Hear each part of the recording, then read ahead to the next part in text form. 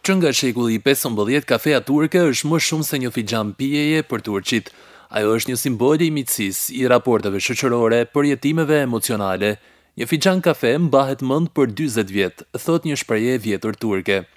Pesë dhjetori shënon Ditën Ndërkombëtare të Kafesë Turke, ku edhe në Shkodër u servir për kalimtarët në sheshin para bashkisë, iniciativë e ndërmarrë nga Instituti i Kulturës Turke në Shkodër Yunus Emre. Në vitin dy mijë e trembëdhjetë nga UNESCO-ja dita e pesë dhjetorit është shpallë si dita ndërkombëtare e kafes turke.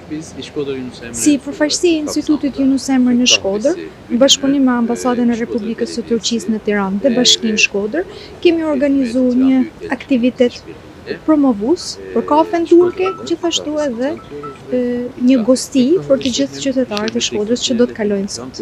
Sot kemi për qëllim që shkodranëve t'u prezentojmë dhe t'ua demonstrojmë mënyrën e pjekjes së kafes tradicionalisht. Sot do të jemi në rrugën pedonale në Shkodër, kemi filluar që në orën 10 dhe do të jemi prezent deri në orën 9 të darkës për të gjithë kafedashësit. Kafeja turke llogaritet të ketë disa përfitime shëndetësore.